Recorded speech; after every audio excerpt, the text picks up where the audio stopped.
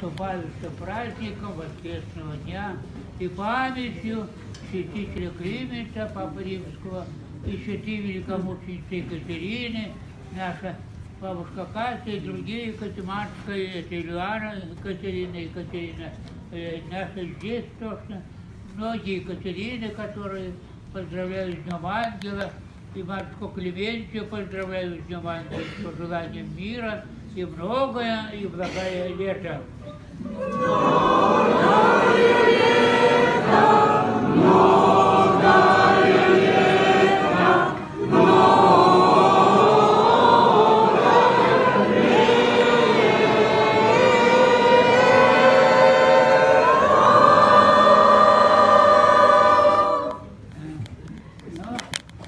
Мои, которые исповедники, завтра могут что?